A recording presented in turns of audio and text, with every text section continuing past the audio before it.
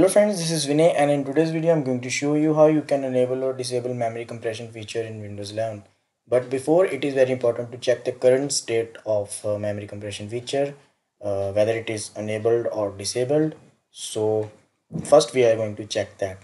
So basically there are two ways. The first one is by using task manager and for that you need to right click on the start button and then select task manager from the menu now here uh, you need to switch to performance tab on the top. And then uh, on the left side you need to select memory. Now here if you head over to this in use memory section you will find out that 1.9 GB of memory is in use and uh, 147 MB of memory is compressed. Now this confirms that uh, memory compression feature is enabled for this device. So the another method is by using Windows PowerShell and uh, for that you need to right click on the start button again and then select Windows Terminal Admin. When UAC dialog box appear click yes to continue. Now here uh, you need to make sure that Windows uh, PowerShell is uh, open. In case it is uh, command prompt then you need to click on this down arrow and uh, select Windows PowerShell from the list.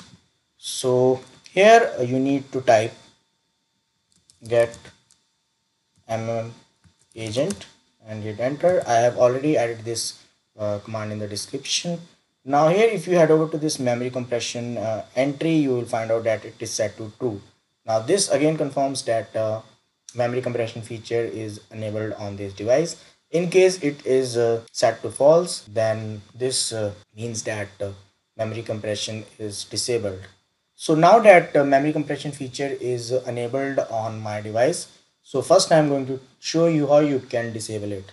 And for that you need to type disable mm agent then space then type and uh, mc you need to make sure that this uh, mc part is gray. Now hit enter now once the pointer is to second line, this confirms that you have successfully disabled the memory compression feature and to apply the changes, you need to restart your computer.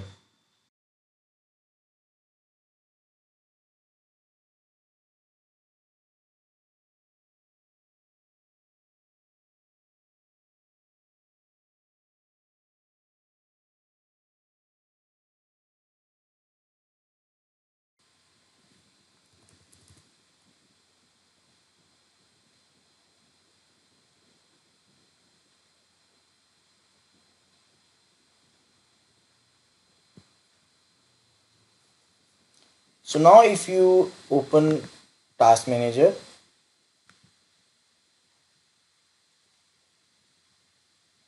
and uh, head over to memory section you will notice that 0 MB is compressed.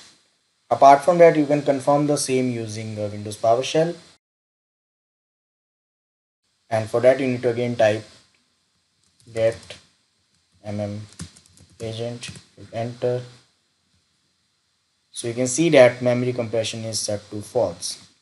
So at this point you have learned how to disable memory compression feature in uh, windows 11 now to enable memory compression feature in windows 11 you need to type enable mm agent space mc and again you need to make sure that this part is gray instead of yellow.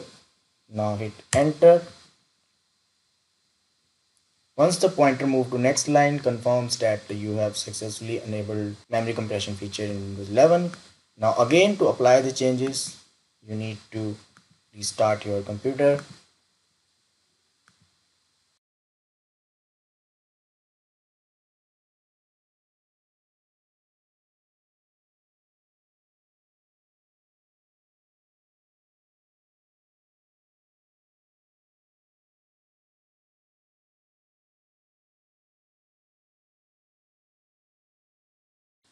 now if you again open task manager